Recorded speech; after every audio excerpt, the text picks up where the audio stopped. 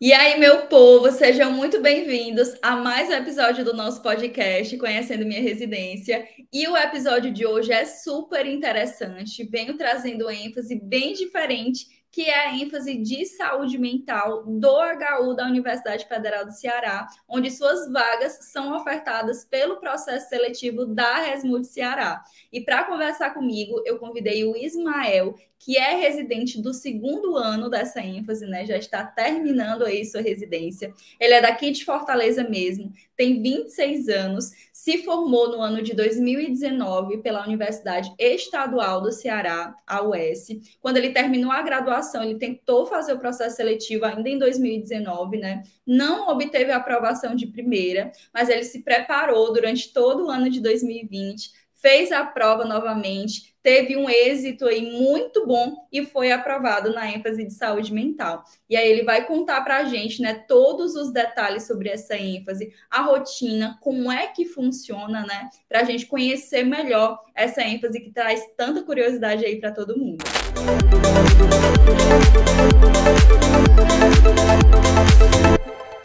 Ismael, primeiramente, seja muito bem-vindo. Eu queria começar te pedindo para você se apresentar melhor, porque eu te apresentei, mas foi bem rapidinho, né? Então, conta um pouquinho da tua história, a tua história com a residência, né, dentro da nutrição, e também como é que tu escolheu a tua ênfase, né? Como é que foi esse processo?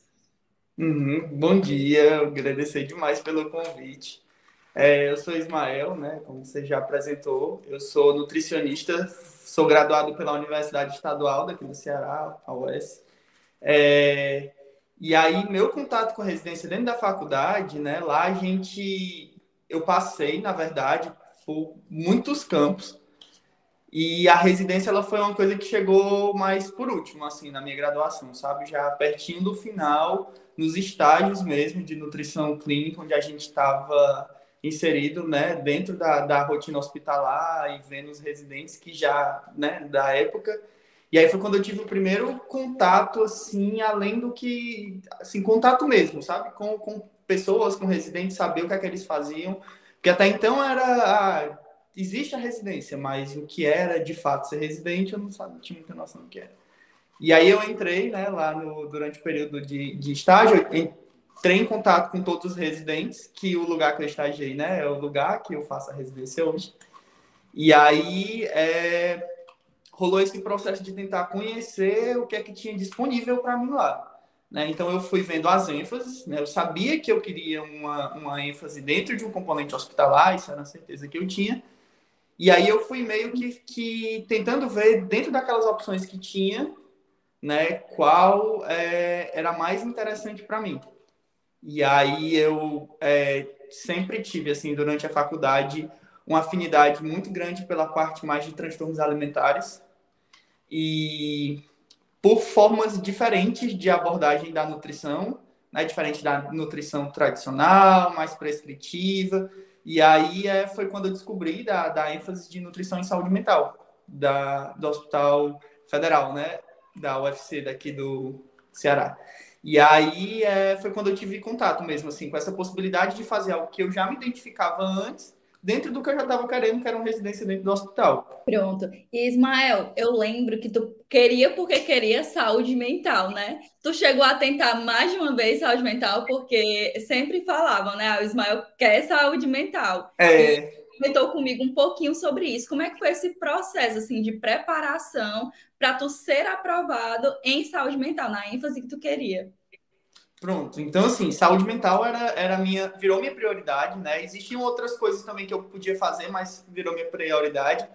E aí, é, não é uma ênfase lá das, das mais populares, digamos assim, entre o que as pessoas preferem, mas era já que eu estava querendo, né? E aí, em 2019 foi quando eu fiz esse estágio e foi meu ano de conclusão, né? Terminei no finalzinho de 2019 e não consegui entrar na residência logo de cara. Eu prestei o, o, o fiz a prova, né, da residência no final do ano de 2019 para entrar em 2020. Não deu certo, fiquei ali na travinha quase, mas não deu certo. E aí o ano seguinte foi 2020, né, ano de pandemia, e aí todo mundo já sabe como foi. Foi o ano que eu me preparei para a residência mesmo, assim. É, eu passei um o ano inteiro para estudar, né? É, foram é muito conteúdo, é muita coisa e também pela indisponibilidade mesmo de atuação profissional durante o período da pandemia. Então, estava é, mais difícil das pessoas estarem né, chamando para empregos na época e consultório também era um tiro no escuro você tentar. E aí foi quando eu falei, não, pai e mãe me aguentem aí só mais um pouquinho que eu vou dar uma estudada aqui esse ano, parar um pouco para estudar. E aí eu prestei a prova da residência em 2020, né, para entrar em 2021. Perfeito. Ismael, conta um pouquinho como é que foi se preparar pra, para o processo seletivo em si. Tipo, que dicas tu daria em relação ao processo da Resmut Ceará? O que foi que tu fez? Como é que foi realmente essa tua preparação? Pronto. É, eu, como eu disse, eu fiquei o ano inteiro, né, para me preparar para a residência. E aí, é, eu tanto estudei, principalmente no, nos primeiros meses do ano, por conta própria, Quanto mais para frente, eu fui comprando algumas aulas, alguns cursos preparatórios, né, que, foi, que foram me ajudando também. Mas é, é, dicas, assim, talvez seja esse ponto, um ponto mais sensível, né? É, porque para mim eu percebo que funcionou um pouco diferente das outras pessoas, porque eu tenho esse funcionamento também mais específico, né? Então, eu tenho muita dificuldade de sentar ali e estudar e manter aquela rotina. Então, uma coisa que desde criança eu sempre tive muito problema com isso. Então, é, eu sabia que para eu dar conta de tudo, eu precisaria de muito tempo para estudar no meu ritmo, né? Então, esse ano foi fundamental. Então, tinha dias que eu sentava e estudava ali um conteúdo inteiro, né? Tinha dias que eu não conseguia né? Também pelas questões da pandemia, toda aquela tensão que a gente estava na época. É, tinha dias que dava certo. É, às vezes eu ficava um tempo sem conseguir, né? Pegar direito, mas assim, é, sempre tentando respeitar o, o, o que eu conseguia, né? Assim, os meus limites e tentando fazer de uma forma saudável também. Eu nunca fui muito tive muita facilidade com resumos, por exemplo, é, eu preciso entender o, o, conteúdo assim, sabe? O, passo a passo. Isso aqui começa aqui, vai para cá e vai para cá. Então, também não é um estudo que vai muito rápido, né? Então, eu tive que começar realmente pegando os livros. Então, eu ia lá nos livros de nutrição, os mais clássicos, e, e lia tudo. E aí, mais para o final, não. Mas para o final, quando eu já tinha dado um, uma estudada geral, já estava entendendo mais ou menos o que é que estava, né? O que é que ia ser cobrado. E aí, eu ia ficava só nos resumos mesmo, porque uhum. era algo que para mim, né, tá, ia funcionar. Agora que eu já estava mais ou menos entendendo do que é que se tratava ali aqueles conteúdos. E tem alguns livros que são chave, né, para esse processo seletivo. Quais foram assim os que tu mais utilizou? Olha, Krause e Cooper, sim, são disparado. os principais disparados que são mais utilizados. Exatamente. Principalmente para nutrição, essa parte mais básica da nutrição, assim, né? É, a parte inicial de, de processo de nutrição, metabolismo, absorção, digestão. Então, tudo isso eu acho que lá a gente se beneficia muito. E a parte de nutrição clínica também, né? Aplicada à patologia, é, principalmente no Cooper, tem muita coisa, assim, que, que direciona muito. Então, são dois que eu gosto muito, assim. E foi os que eu usei principalmente.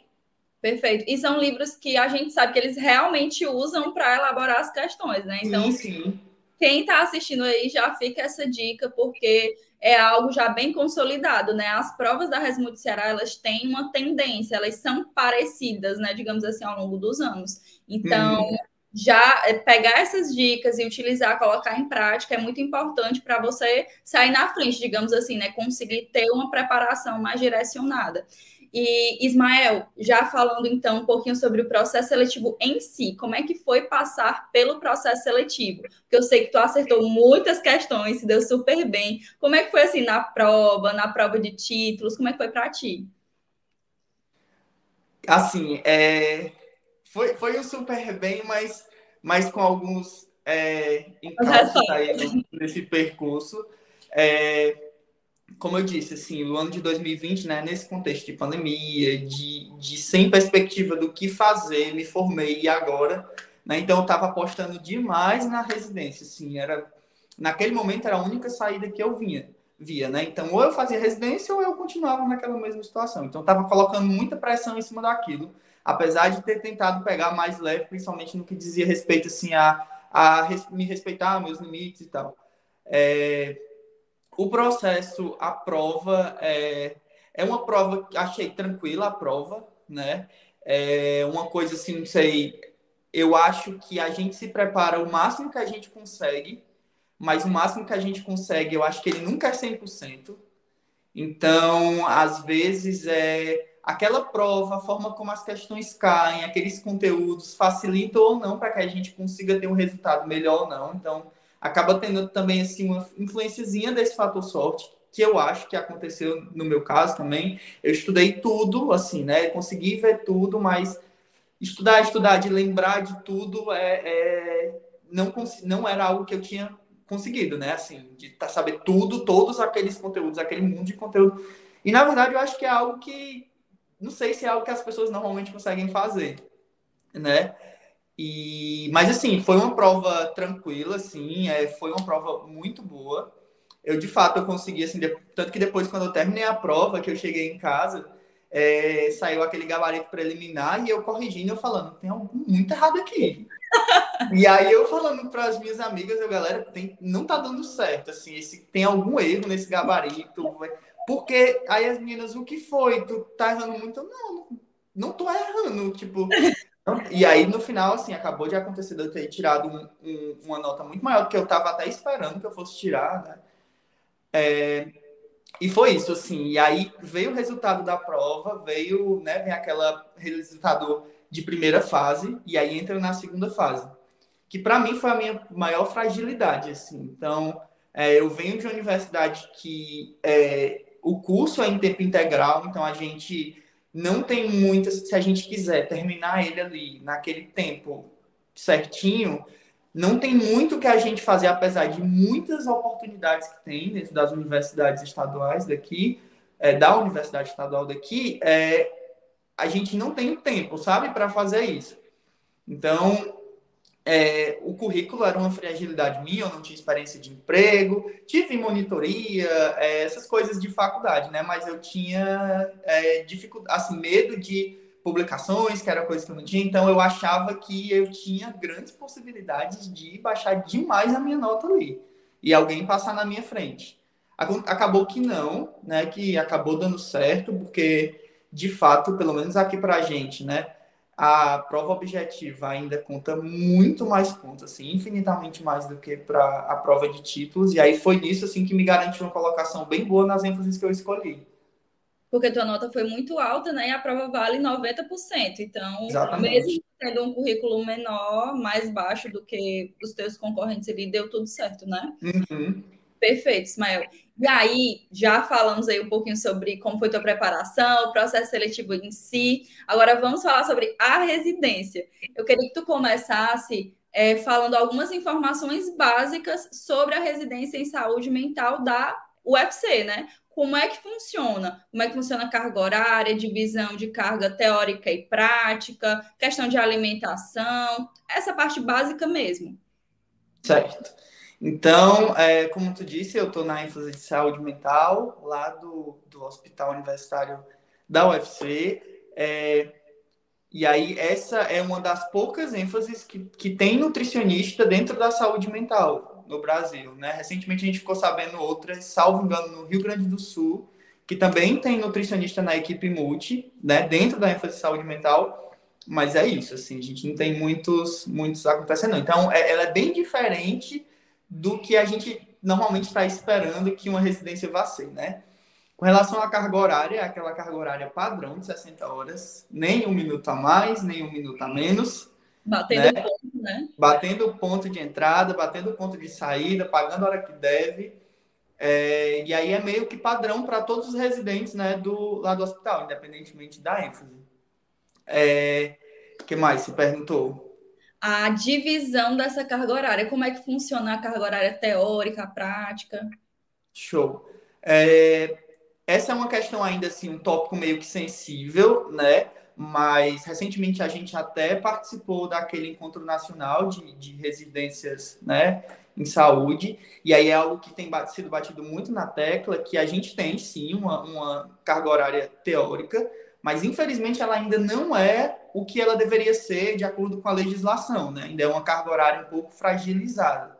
Então, a gente, teoricamente, tem essa divisão de, né, pelo menos 20% de carga horária pra, teórica, desculpa, mas a prática é um pouco diferente. Assim, a gente percebe que predomina muito mais do que a teórica. É, e aí é isso, assim, é, a gente teve disciplinas, principalmente no primeiro ano, assim, foi o ano que mais teve disciplinas, né?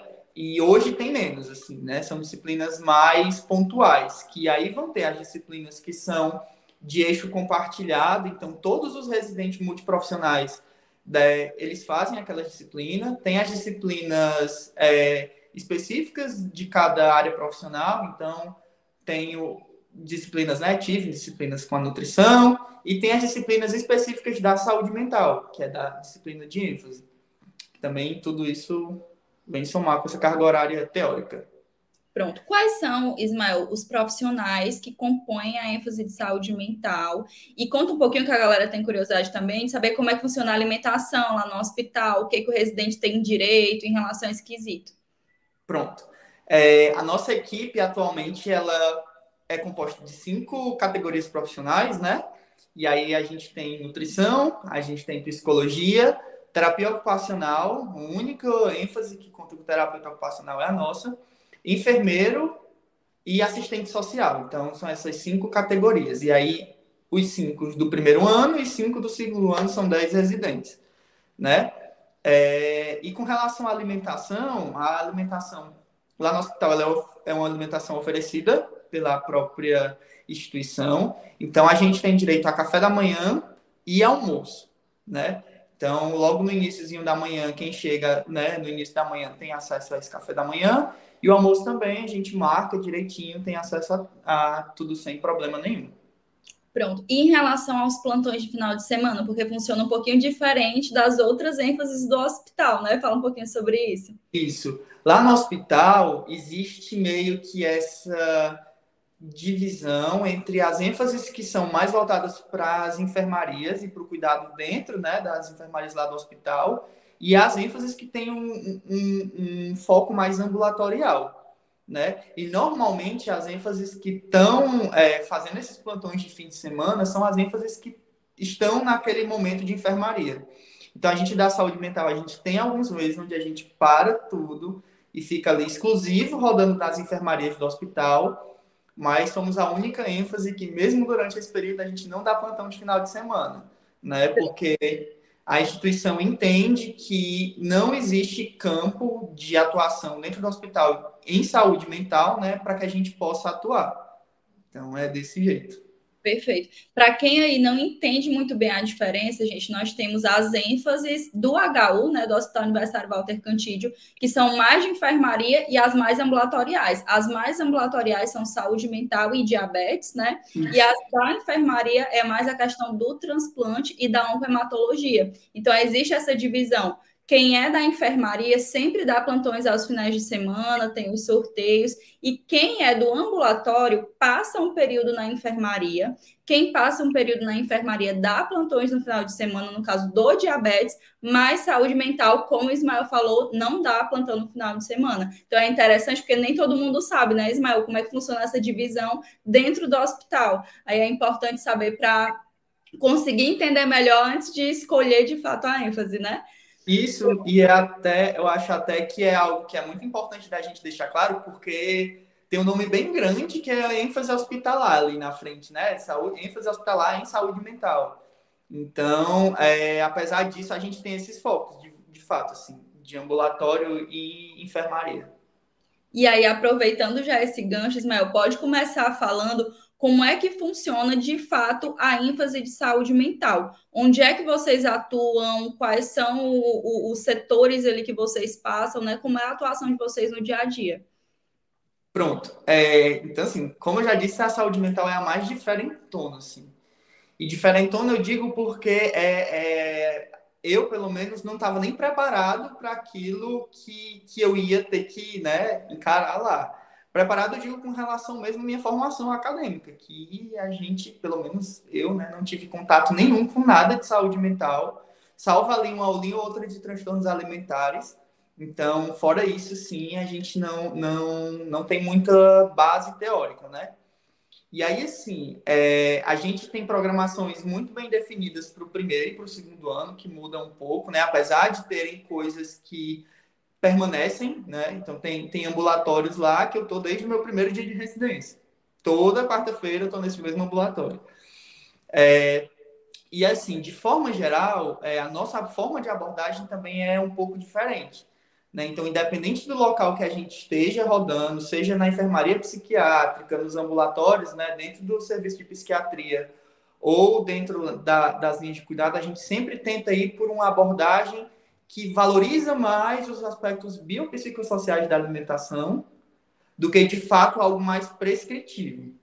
Então, em resumo, a gente atua diretamente dentro do ambulatório de psiquiatria, né, que é assim o mais óbvio para a saúde mental, então, lá dentro, a gente atua em ambulatórios de transtornos alimentares, pacientes psicóticos, é, ambulatórios gerais, né, onde vem todos os tipos de, de, de transtornos psiquiátricos. Então, tudo isso a gente, a gente vê. A gente atua também dentro das linhas de cuidado em obesidade, né? Então, a gente tem um ambulatório, que é esse ambulatório que eu digo, todo dia de quarta-feira a gente está lá, faça chuva, faça sol. E aí a gente tanto atua dentro desse ambulatório numa abordagem mais clínica da obesidade, quanto dos pacientes que vão passar pela cirurgia bariátrica. Então a gente está dando de conta desses dois. É, tem também as enfermarias, né? Tanto a enfermaria psiquiátrica, que atualmente a gente tem leitos no hospital, que são é, ficam a cargo dos residentes, né, da, da, da equipe de saúde mental, quanto também as enfermarias, como eu disse, né, naquele período que a gente fica ali para um pouco as nossas atividades para rodar nas outras enfermarias. Pediatria, né, cirurgia, clínica médica, então tudo isso a gente também passa.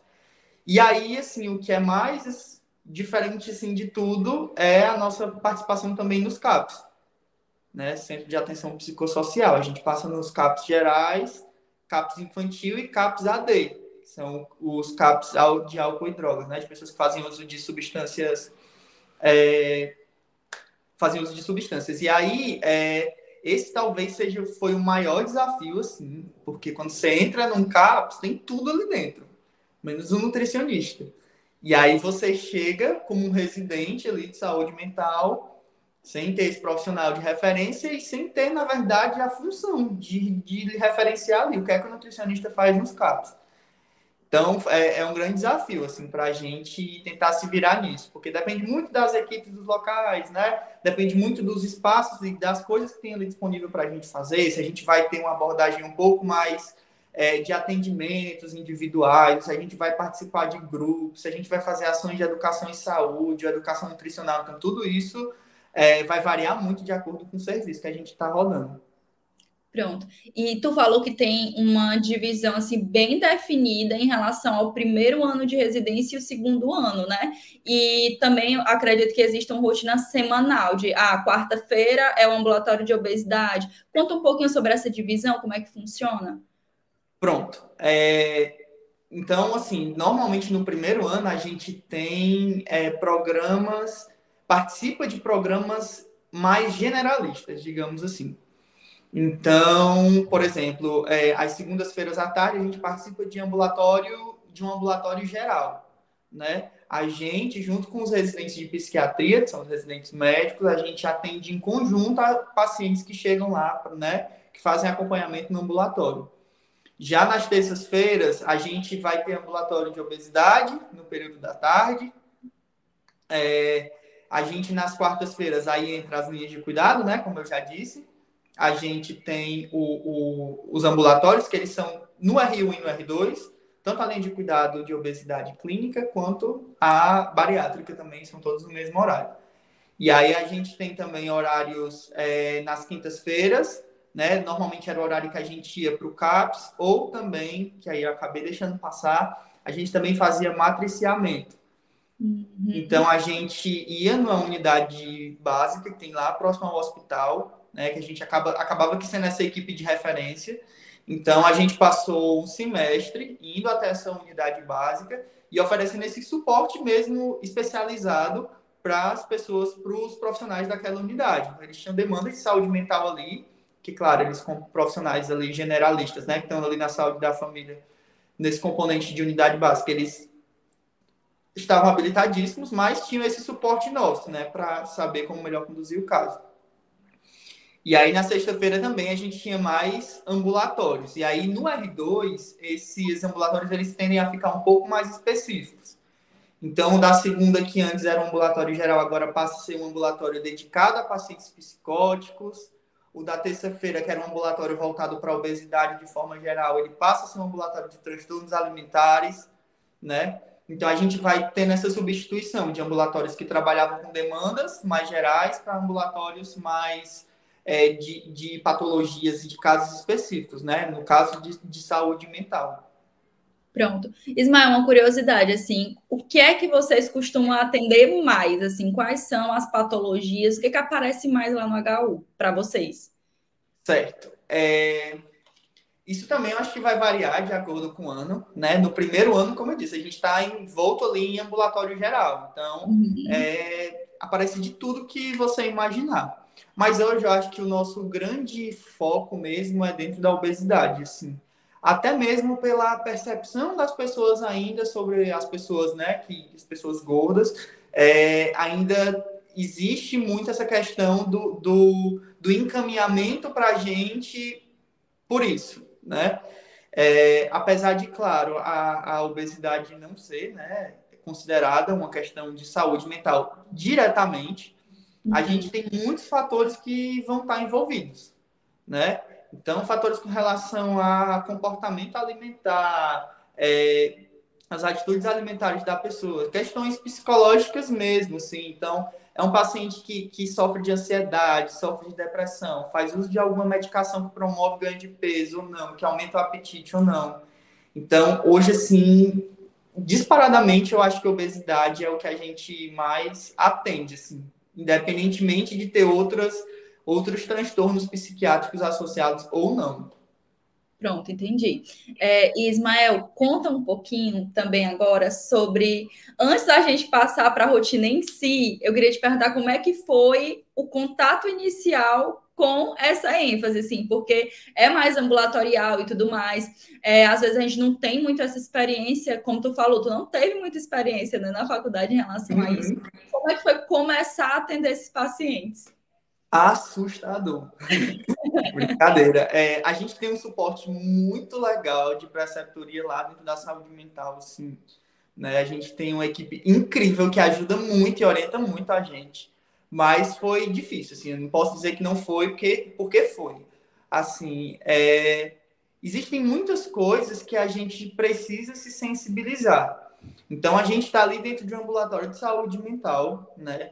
Então, todas as profissões que estão ali dentro, elas já produziram ou produzem coisas com relação à saúde mental. Então, a enfermagem, ela tem a área de saúde mental como área já bem desenvolvida, onde ela sabe direitinho o que, é que ela vai ter que fazer ali.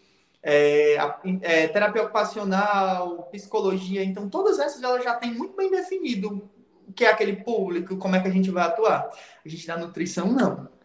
Quando a gente procura assim, nutrição e saúde mental, não, não, tem nada assim. O que a gente vê é nutrição e psiquiatria, que é aquela, né, mais uma vez, essa, essa questão mais relacionada à prescrição. Então, eu tenho determinadas condições psiquiátricas, e aí eu tenho os determinados alimentos que podem estar relacionados ou não com a melhora, podem estar relacionados ou não com a prevenção dessas condições psiquiátricas mas muito pouco se valoriza assim ainda sobre essas questões mais biopsicossociais mesmo da alimentação.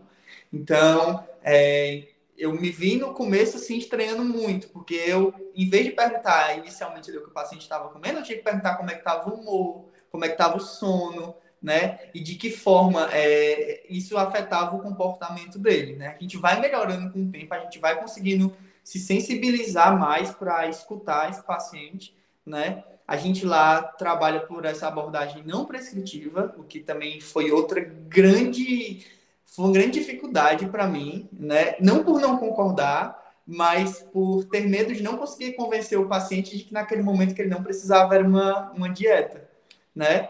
Então a gente trabalha muito com relação aos comportamentos, assim, é difícil porque normalmente quem procura um nutricionista, né, não procura para isso, procura, né, para as questões mesmo que a gente já está acostumado. E aí, quando chegou lá, teve essa grande barreira. Mas com o tempo a gente vai, vai se sensibilizando. Acho que essa é a palavra mais correta, assim, para perceber essas outras coisas que a gente também pode atuar, claro, sempre dentro da nossa área, alimentação saudável, né? Mas tentando sempre promover isso de outras formas, que não necessariamente vai ser ali entregar uma prescrição dietética e dizer, olha, é por aqui. Pronto, perfeito, Ismael. E agora, já entrando na rotina em si, me conta como é que funciona a rotina. Exemplo, ah, no ambulatório de psiquiatria, o que, que a gente faz, na cirurgia bariátrica, a gente faz. Conta um pouquinho da atuação de fato ali dentro dos campos de atuação. Pronto. Então vamos lá.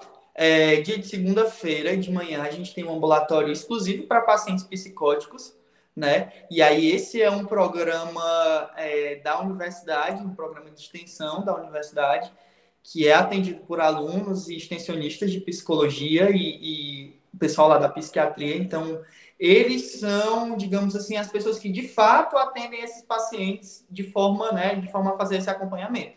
E aí a gente na nutrição entra como um suporte. Então, se durante os atendimentos de psicologia ou dentro do pessoal da psiquiatria eles percebem alguma demanda e aí seja essa demanda qualquer. Então, é, mas principalmente que tem alguma relação com saúde mental. Então, se eles identificarem algum tipo de padrão de comer disfuncional, algum tipo de crença ou algum tipo de, de fato, assim, comportamento que vai prejudicar, ou se a gente vê que aquele paciente também, né, que acontece muito, faz uso de medicação, e aí vem os efeitos colaterais, ganho de peso, constipação crônica, assim. Então, tudo isso eles identificam e aí encaminham para a gente, a gente faz esse atendimento é, extra, né, de apoio para eles.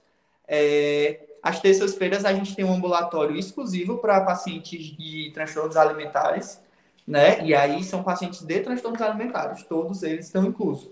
E aí, é, normalmente a gente, nesse ambulatório é um pouco diferente, porque aí a nutrição ela já entra como um dos profissionais da equipe profissional, assim, mesmo que vai atuar. Então, cada paciente ali tem um nutricionista e um psicólogo que vão fazer esses acompanhamentos semanalmente ou quinzenalmente, vai depender muito da demanda e da, da condição do paciente. Se é um paciente que está com sintoma mais agravado naquele momento, se está com, com o estado nutricional prejudicado, então a gente vai, vai é, tentando ver de acordo com as demandas mesmo do paciente. As quartas-feiras são o dia da linha de cuidado, né? Então, de manhã a gente tem o tratamento da obesidade clínico, ou desculpa, bariátrico. Então, lá a gente faz acompanhamento tanto dos pacientes no pós-operatório, né? Lá, lá no hospital, de acordo com a legislação, para qualquer paciente que vá passar pela cirurgia bariátrica, ele precisa dos laudos mínimos, né? Do, do cirurgião bariátrico, obviamente, mas de um psicólogo e de um nutricionista. E a gente é essa equipe de nutrição que vai fazer o acompanhamento desse paciente para fornecer esses laudos nutricionais, né, favoráveis para a cirurgia. Então a gente acompanha no pré. No pré a gente vai muito em cima dessa questão mais comportamental mesmo, assim. Então é identificar se tem algum padrão disfuncional de alimentação, se tem algum hábito assim do paciente que não vai ajudar para a cirurgia. A gente tenta conscientizar muito em cima disso. A gente fala muito assim que é, a gente, como são é um acompanhamento mais a longo prazo, então a gente vai um pouco mais devagar, né? A gente vai traçando ali pequenas metas, fazendo ali ações é, mais pontuais de educação para ver se esse paciente ele consegue melhorar um pouco do estilo de vida dele antes da cirurgia, né? E aí depois da cirurgia, na verdade, é, a gente tem esse processo também de, de da alta do paciente, né? Então ele é acompanhado, ele em algum momento ali, depois que ele recebe os laudos, ele vai ser convocado para fazer a cirurgia interna no hospital e a gente também é responsável por dessas primeiras orientações do paciente, dizer como é que vai ficar a alimentação dele naquele primeiro mês ali depois da cirurgia. Né? E a gente vai no leito, conversa, entrega as orientações de alta, dessa vez com a dieta prescrita, porque tem que ser bem rígido mesmo a alimentação. E a gente vai fazendo esse acompanhamento mensal para ir fazendo, seguindo aquelas fases de evolução, né? Então, sai com dieta que vai evoluindo de líquida restrita a líquida completa, depois pastosa, branda e geral. Então, tudo isso também a gente passa. E no ambulatório de, das linhas de cuidado de obesidade, do tratamento clínico, O perfil de paciente é mais ou menos parecido. Muitos deles são pacientes que já passaram por cirurgia bariátrica em algum momento. E aí tem esse acompanhamento assim a mais longo prazo, né? O que é algo assim ainda que, que é interessante, mas talvez não devesse ser feito assim, né? Porque esses pacientes deveriam ser contra-referenciados para atenção básica, mas eles permanecem lá porque não tem como né, a atenção básica dar conta deles a gente acaba que assume também e fica lá com esses pacientes, ou pacientes de fato que não vão passar pela cirurgia, nunca passaram, não querem passar, e estão lá mesmo para o tratamento da obesidade. Muito em cima, mais uma vez, dessas questões comportamentais que envolvem a alimentação. Né? A gente tem, de fato, essa abordagem mais diferente. As quintas-feiras normalmente ficam os horários dos CAPs, que é quando a gente vai, né? a gente sai da unidade lá do hospital para ir até os CAPs. Então, chega lá, e assim, CAPS é uma, uma, como eu disse, assim, uma caixinha de surpresa. Vai depender muito das demandas que tem ali, do que a galera está disposta a, a, deixar você fazer, assim, identificar as demandas. Então, é, as possibilidades são infinitas, né? Vai depender muito do, do que a gente é, encontrar. Mas na minha experiência, que mais predominou, assim, foram atendimentos individuais mesmo, né? Então, principalmente no CAPS infantil, onde vem muita demanda de autismo, seletividade alimentar, transtornos alimentares, criança e adolescente que já estão ali esboçando os primeiros sintomas. Uhum. Então, a gente já vem né, no CAPS para atender, fazer ali um acolhimento inicial, dar um direcionamento, encaminhamento para um serviço especializado para continuar o tratamento. Né? Então, tem isso. E aí, nas sextas, a gente tem um ambulatório que é específico para é, nutrição e saúde mental. Né? Então, todos os ambulatórios do setor de psiquiatria que não contam com a gente lá da nutrição, eles podem fazer esse encaminhamento. E aí, esse paciente ele vai ser atendido exclusivamente numa consulta individual nesse dia, né? É, esses horários que eu disse, eles não, eles né, são horários, né? Fazem parte de uma gradezinha semanal, mas a gente muda muito, assim, dependendo do, da disponibilidade de preceptoria, né, de algo que precise mexer ali na agenda, às vezes o ambulatório vai para um dia, vai para o outro, e aí tá sempre tendo esses encaixes. Mas de forma geral é essa. Pronto. E Ismael, conta também da enfermaria, como é que funciona para vocês? Ótimo.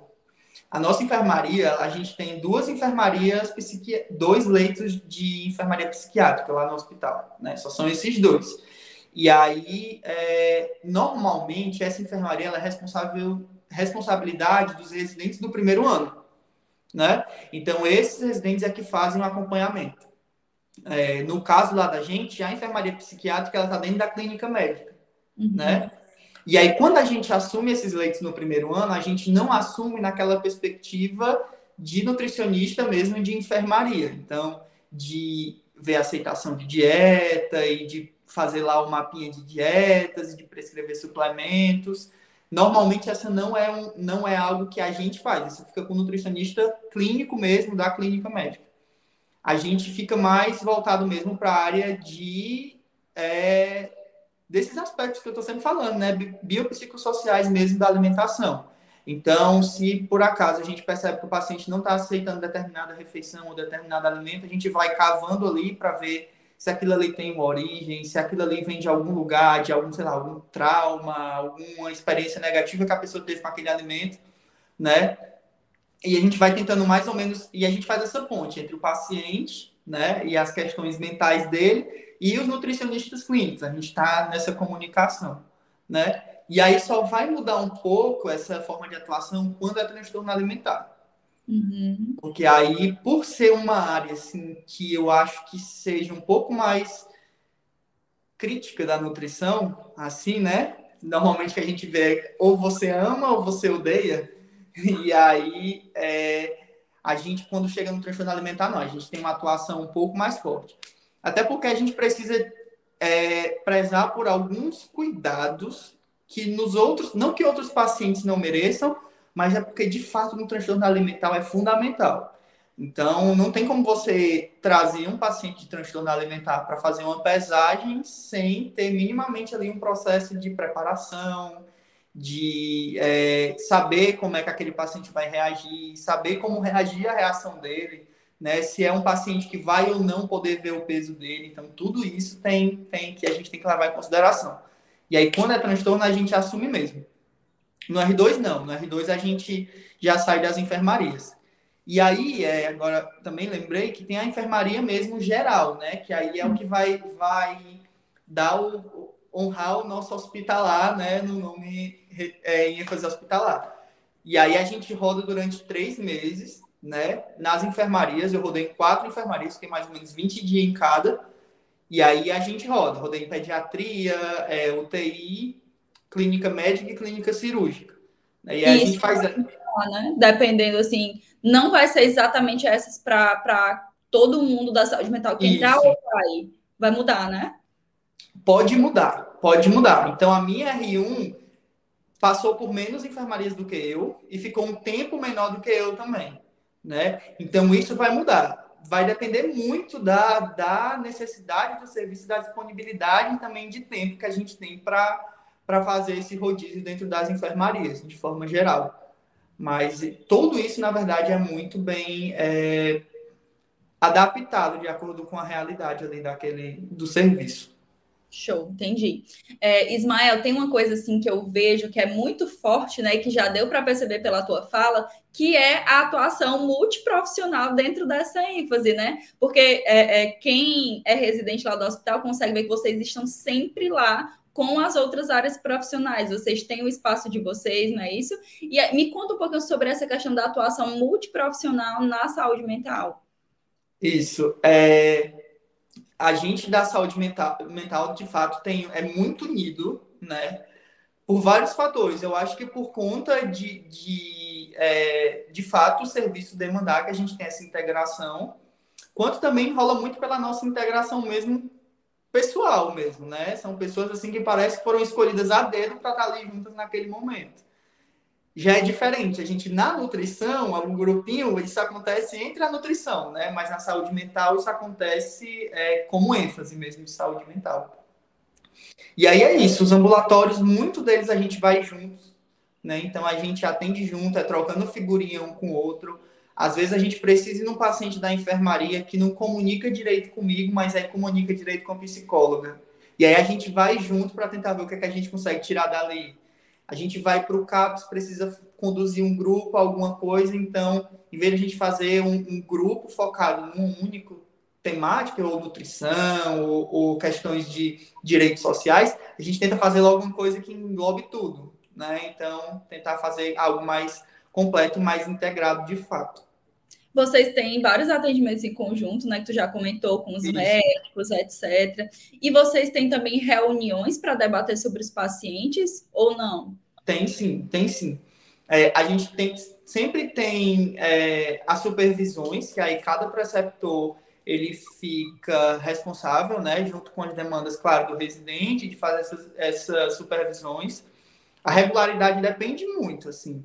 Depende muito do residente, depende muito das demandas, depende muito. Tem categorias que tem aquela supervisão mais toda semana, tem aquela supervisão, e tem outras que não, tem outras que é de fato de acordo com as demandas. É...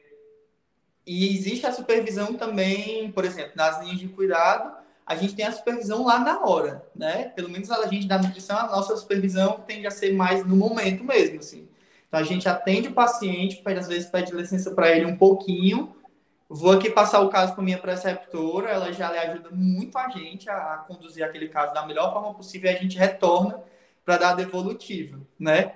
Agora que eu já estou quase na rua, né, R2, para terminar, aí a gente já ganha uma autonomiazinha maior mesmo, assim, de fazer a nossa própria conduta ali é, e, e aí, né, já libera o paciente. Claro, gosto muito de sempre passar, dizer o que foi que eu fiz, né, que eu acho que é importante porque apesar da gente já estar tá ali mais habituado, a gente né, tem, um, tem um profissional ali que sabe infinitamente mais que a gente. E aí, por que não a gente se aproveitar disso?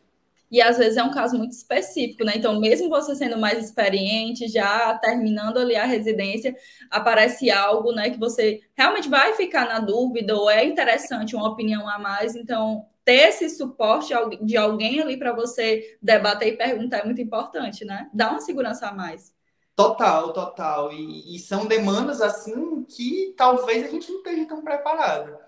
Então, muitas vezes é você ali atendendo um paciente psicótico que pode ter algum tipo ali de delírio, de alucinação e, e, e ser difícil de, de, de conduzir aquela, aquele atendimento. Recentemente a gente rodou um mês no Hospital Mental de Messejana, aqui, né? Foi o nosso, da nossa disciplina de PSF2, então a gente foi rodar lá nesse ambulatório, nesse hospital, na verdade, dentro das enfermarias, e é assim, pacientes internados por questões psiquiátricas, né? Então, pode acontecer de ter algum episódio de agressão, de, né, coisas assim que infelizmente, né, pode ser que aconteça. E era a gente que estava lá dentro dessas enfermarias, né? Foi uma época incrível assim, eu amei um mês dentro do hospital mental, não aconteceu nada comigo, muito pelo contrário, né? Tive uma relação muito boa com os pacientes, mas fica aquela tensão, né? Que pode ser que aconteça a qualquer momento. Você não sabe que momento o paciente pode ali acontecer de ter um surto, de ter um acesso de raiva ou, ou alguma atitude mais impulsiva por conta do transtorno psiquiátrico, né? E aí a gente tem que estar muito sensível para isso, assim, para saber como reagir nessas situações. Sim. E aproveitando esse gancho, eu queria te perguntar em relação a essas atividades, além da rotina específica que vocês têm. Vocês passam por outros lugares, né, fora do hospital. O que, é que vocês têm de atividades extras? Pronto. Então, é, como eu já disse, a gente tem os CAPs. Então, durante o primeiro ano inteiro, a gente roda no CAPS geral, né? Um turno, dois turnos. Isso também vai depender muito do residente e da demanda né? É, então, a gente passa esse ano inteiro no CAPS geral, a gente roda também no CAPS infantil e no CAPS AD, como eu já disse. A gente tem essa atividade de matriciamento, né? Matriciamento e CAPS geral durante o primeiro ano, CAPS infantil, CAPS AD no segundo ano. Isso de ambientes externos fora do hospital. No caso, a, gente... UPS, né? E o CAPS. Isso, e o CAPS. E aí a gente também tem é, essa disciplina que a gente cumpre ela no Hospital de Saúde Mental, daqui de Fortaleza. E tem a opção também, né, quem quiser, de fazer os estágios eletivos e estágios de rede também. Que aí são né, outras variações que podem. Eu especificamente não fiz nenhum desses, mas é, tem pessoas da minha equipe que conseguiram fazer. Explica só como é que funciona a questão dessa diferença do estágio eletivo e desse outro tipo de possibilidade que vocês têm de rodar fora, que tu falou tem esse, essa outra possibilidade, né? Além do estágio eletivo. Pronto. É, o estágio de redes, poucas assim, poucas categorias profissionais é, fizeram esse estágio, mas eu entendo ele como um estágio dentro da rede de atenção psicossocial mesmo, assim, dentro da nossa rede, né, de, de, de ênfase mesmo. Então, são estádios que têm uma lista de, de locais que podem fazer parte desses, desses é, de escolha, né? Você pode escolher um desses. E aí entra em contato e faz esse estágio. Na, é, é muito parecido com a ideia do eletivo. Uhum. Mas os campos, eles têm que estar dentro daquela rede ali de atuação, certo? E aí o eletivo não. O eletivo é, de fato, o que o seu coração mandar, né? Só precisa fazer sentido. Então, é, em qualquer local do, do Brasil, do mundo, enfim, desde que cumpra os requisitos ali de similaridade com a sua ênfase original, é super possível que você faça. Perfeito. É, Ismael, me conta agora, assim, eu sempre gosto de perguntar é, para quem vem para cá, algo que aconteceu, assim, alguma experiência dentro da residência que você considerou assim muito desafiadora dentro da tua área, algo para compartilhar mesmo para a gente ter uma noção prática do que do que acontece, tudo, né? E algo que tenha sido desafiador para ti. Deixa eu pensar aqui. É... Eu acho que de forma geral a residência é um grande desafio, né? Carga horária, e aí a gente está lá dentro do hospital, e às vezes não é, não é, é, a situação mais confortável do mundo, né? o ambiente de trabalho mais confortável do mundo. Isso em si já é um desafio. Mas de episódio específico, eu acho que teve uma vez que eu atendi uma paciente no ambulatório. Essa paciente era acompanhada por esquizofrenia, e aí, uma vez, eu atendendo ela dentro né, do consultório, ela estava acompanhada do irmão e ela começou a ter, né, começou a ter alguns episódios de delírio ali. Então, ela começou a me acusar de várias coisas, de que eu estava ali acompanhado dos bombeiros que iam prender ela, enfim, né? E ela começou a ficar bastante agressiva. O irmão estava fazendo acompanhamento né, dela recente, então não sabia muito como manejar. E aí realmente foi assim um trabalho de que é que eu vou fazer. Eu tenho que ter muito cuidado com o que eu vou dizer, que é para não dar mais. Você não pode confrontar, porque ela não está fazendo aquilo de propósito, né? Não é por maldade que ela está fazendo aquilo ali. E você não pode confrontar. E eu fiquei muito nesse desespero assim, interno mesmo, de o que é que eu vou fazer? Se essa mulher vai vir para me agredir de fato, que ela já estava, né? Chegando às vezes de fato, o que é que eu posso fazer? E aí foi tentando contornar a situação. Olha, vamos dar uma volta aqui fora para ver se realmente tem bombeiro. Aí, se tiver, a senhora pode ir embora. Se não tiver, a senhora fica aqui para a gente terminar a consulta. E a gente foi tentando contornar, deu certo ainda né, no final das contas, mas foi uma situação assim muito difícil assim de realmente eu achar que ia ser dar muito ruim ali no dia. Caramba. Vocês têm aula sobre isso ou vocês conversam sobre isso? Por exemplo, isso aconteceu no primeiro ou foi no segundo ano de residência? No primeiro ano. No primeiro, primeiro ano, pois é. E aí eu tenho essa curiosidade. Vocês, ah, se acontecer tal coisa, o que é que vocês podem fazer? Vocês podem fazer isso, isso, isso. Vocês recebem esse tipo de orientação ou vai muito realmente do feeling de ver as coisas acontecendo? Pronto, é, para ser bem honesto, e aí eu acho que é importante a gente falar isso, né? Também baseado no que eu já disse, a nossa carga horária teórica ainda é uma fragilidade muito grande. Né? Então, temas como esse, de forma geral, eles não são abordados de forma mesmo de aula, da gente sentar e saber como né, abordar tal paciente, quais são as perguntas mais efetivas, qual a forma de falar. A gente tem disciplinas mais gerais, né? Então, a gente sabe, por exemplo, que se você está atendendo um paciente psicótico, não vai adiantar você muito confrontar ali aquela psicose dele né? Então, isso a gente sabe. Mas, de fato, algo mais diretivo, mais objetivo, daquele passo a passo, né? Primeiro você faz isso, depois você faz isso, aí acontecer. Isso a gente não tem. É muito mesmo do que a gente percebe das nossas preceptorias, né? Da forma como elas levam os casos e dos outros profissionais. Assim, é a gente poder estar tá perto, principalmente da galera da psicologia, da psiquiatria, que tem essa base muito mais desenvolvida que a gente, a gente começa a perceber, assim, às vezes é a forma de perguntar, né? Às vezes o paciente ele não tá ali, sei lá, é, ah, como é que tá a alimentação? Tá bem. Mas bem quer dizer muita coisa. E aí a gente vendo eles, a gente já vai conseguindo saber como fazer essas perguntas de forma mais efetiva para ter uma resposta melhor, sabe? Então é muito disso assim.